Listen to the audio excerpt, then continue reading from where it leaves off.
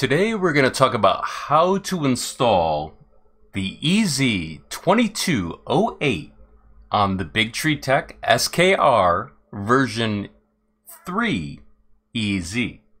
Now this board is somewhat unique in that we have our X stepper, our Y stepper, our Z stepper, and our E0 and E1 steppers having a special port for the EZ2208.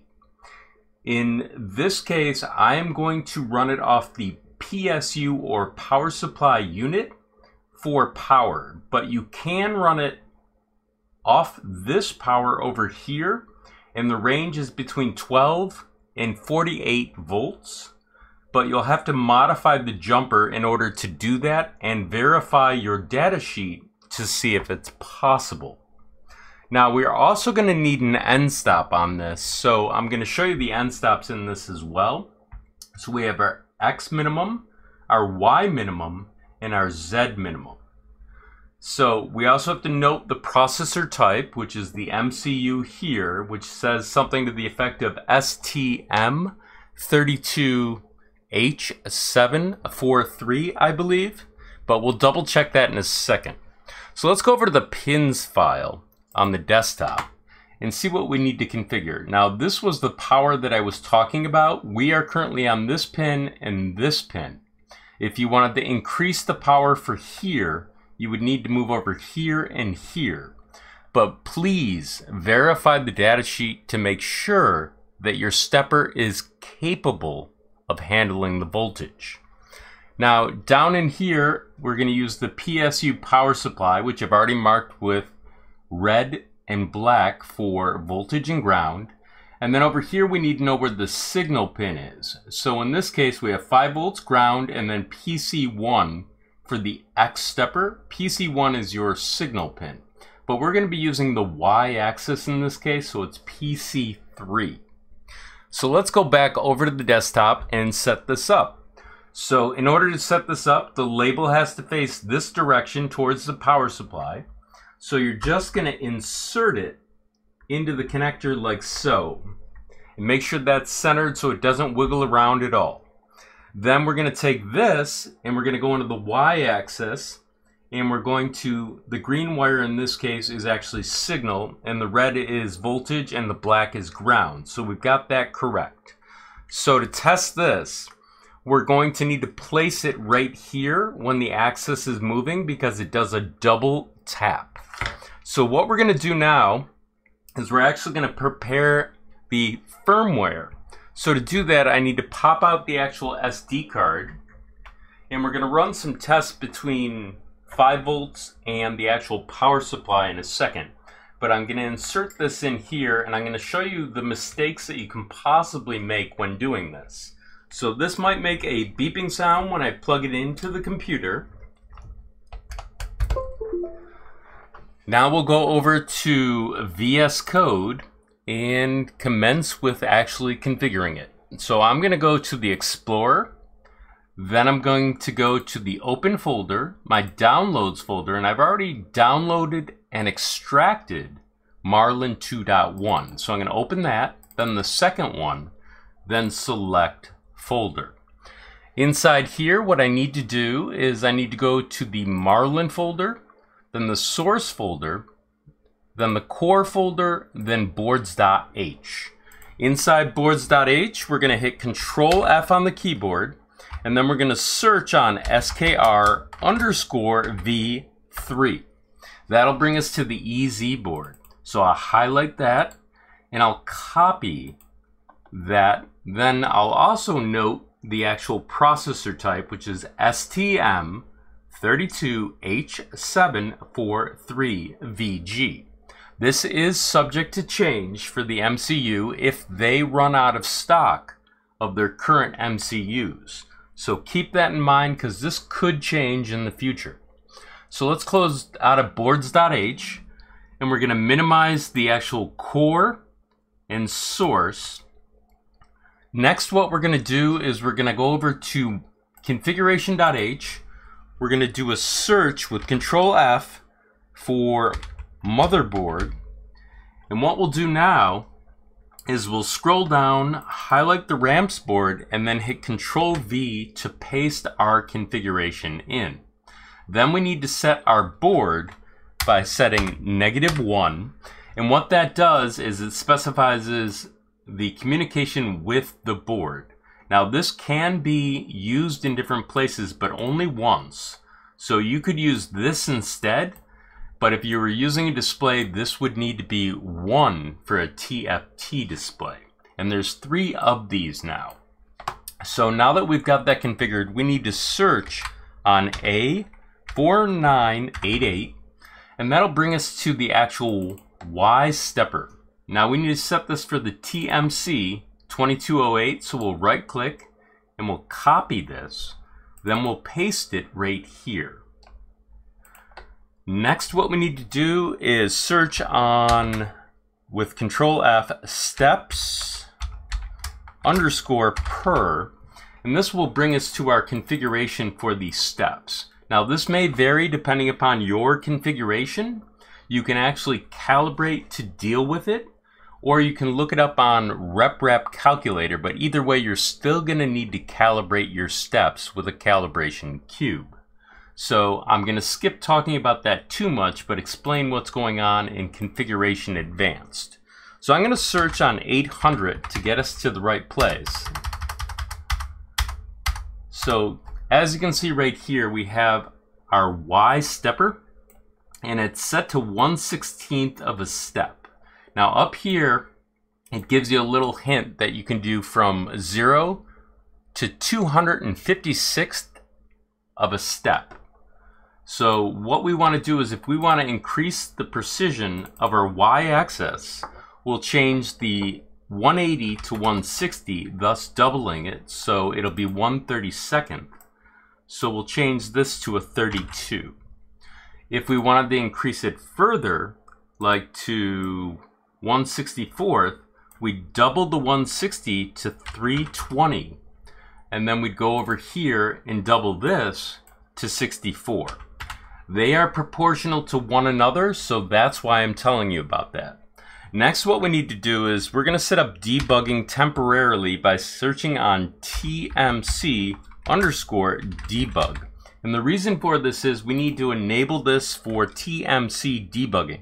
So I'm going to hit the control forward slash to remove the comment. That'll allow us to use the M122 in order to diagnose now we're going to have to search on the second TMC debug. So there's another one down here. So we're going to do control forward slash again to remove the comment. So now this is already configured.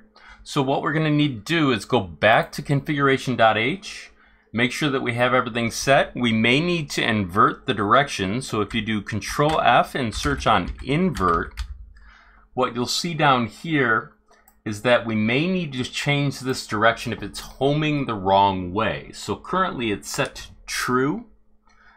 And if it's going in the wrong direction, set it to false so it can go the other way. But we'll sort that out in a second. And there may be a secondary problem that'll come up, but this is a good learning experience for you. So I'm going to go over to platformio.ini and we're going to have to configure the Mega 2560. So in order to do that, we have to get our chipset in here. So we're going to go over to the INI folder. We're going to search for our chipset, which is STM32H7.ini. We'll scroll down and we'll see that our board is located right here. So we'll highlight the environment, copy it, then we'll minimize the INI, go back to Platform IO, and we'll paste it over the Mega 2560. Once that is done, what we're going to do is we're going to click the checkbox to build. We can first do a clean, which is good housekeeping. That'll clean out the information that's in the .pio folder. Then we can click on the checkbox in order to build it. So this may take a second to build. If there's an error on the first time you build it, try hitting the build button a second time because sometimes things build out of order. If that causes an error still where you see something in red in here, then that means that you'll have to fix the very first thing that you see red, and then rebuild because the other issues might be a cascade of the same thing. So this is almost done. So we can monitor it in the build folder over here. And when it gets to firmware.elf, then firmware.bin will be the binary that we need to actually load. So we'll give this a second. You can see there's yellow here. That's just a warning. You can ignore that. So as you can see, we're almost there. So it'll appear in here someplace. So there's firmware elf and there's firmware bin. So we'll click on this, we'll right click and we'll say reveal in file explorer. Inside here, we'll double check on our drive, which says firmware.cur, which was the last current load we had that was successful. So we're going to right click and we're going to send this to the same drive being the USB drive. Now, if your load is successful, it will rename this file to firmware.cur. If you ever want to reload the firmware.cur, you rename it back to this in lowercase. So let's go back over to the workbench for a second. Pop out the drive, and we're going to place the drive in here. Now I'm going to use 5 volts, so I need to put the USB jumper on because I want to test some stuff. So this will allow us to power via here. So I'm going to plug this in. And as you can see, the board powers up and it's now loaded and connected to the computer. So what we're going to do next is we're actually going to bring up platform, or excuse me, up uh, Pronterface and see if we can connect. So I'll click on here. You can see that Pronterface is actually here, but we don't know which port. So I'm going to go back to the desktop. I'm going to type device manager. Now it popped up on my other screen, so I have to bring it over here. And we can check our port, which is COM port 7. So I'm going to close that. Next thing I'm going to do is I'm going to check to see if it's here, which it is, and I'm going to connect. And what I want to do is show you two things. First, the G code for the end stop, which is M119, and I'm going to press enter. Now they all say triggered, which is not what we want. We want it to say open, and we have one connected to the y-axis. So we're going to have to create a fix for that in the Marlin firmware. Now we're going to change the G code to M122 and press enter. And the reason I'm doing this is to show you the low part, which means there's an error. That's because there's no power from the PSU currently to the board because it requires more power. That's why you see that message.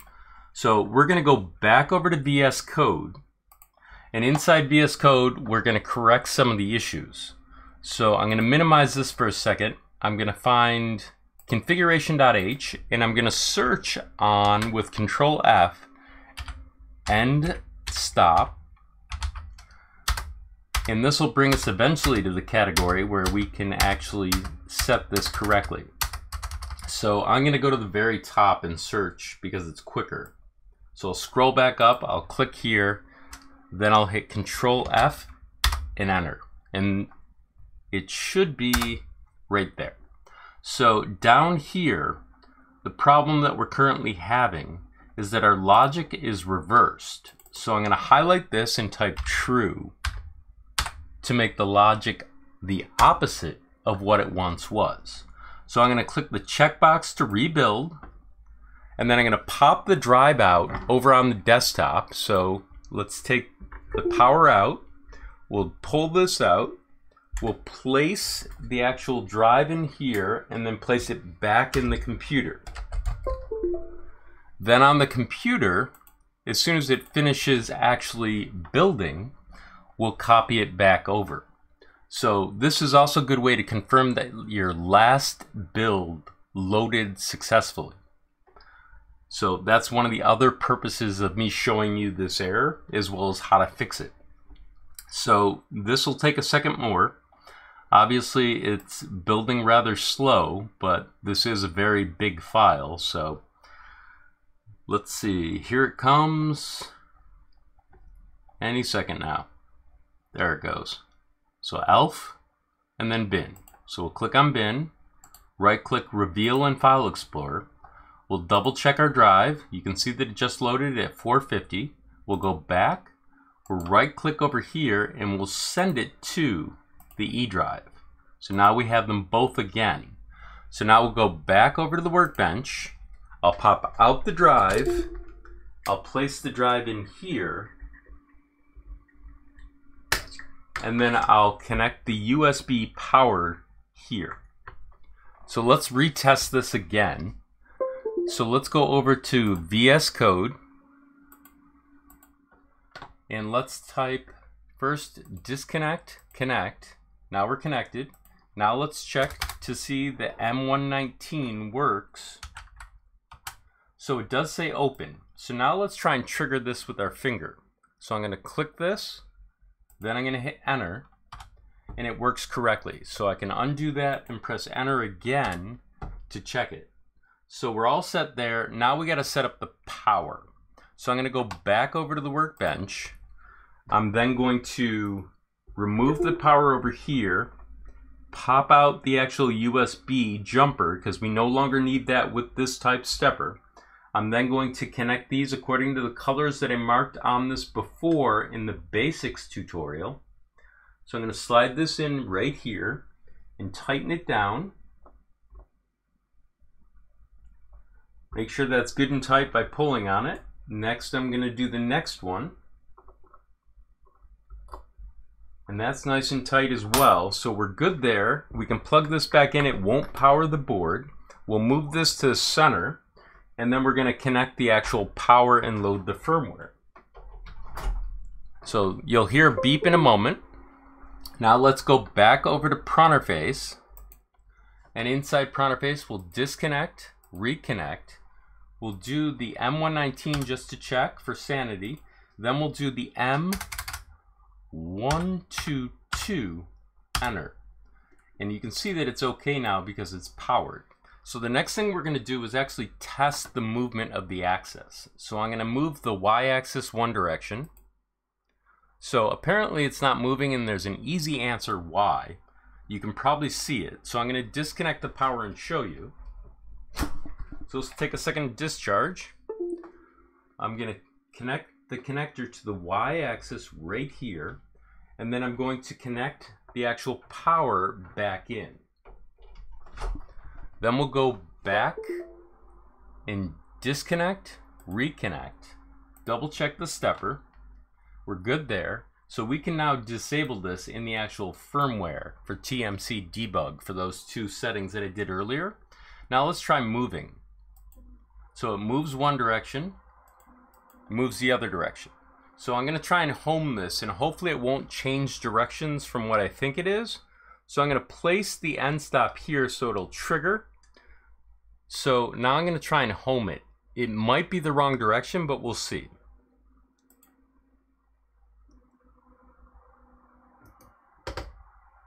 So apparently you can see there's an error right down here. That's because this moved up.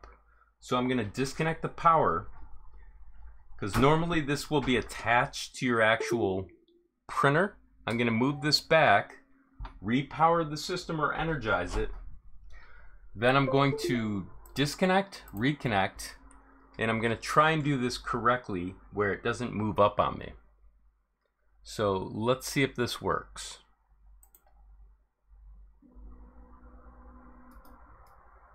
Okay, that time it worked. So now we can move outwards so that's a major issue that you'll see if it's not connected to the printer. You can no longer trigger it by hand because it's so quick.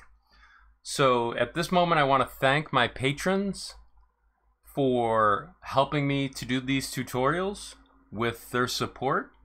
And also, if you want to see videos early, they will be up on Patreon before they're actually released on YouTube. The same goes for my PayPal followers. And I will place thank you notes at the end of the tutorial for everyone that has been helping. So everyone take care, be safe, remember to like and subscribe, and I'll catch up with you later.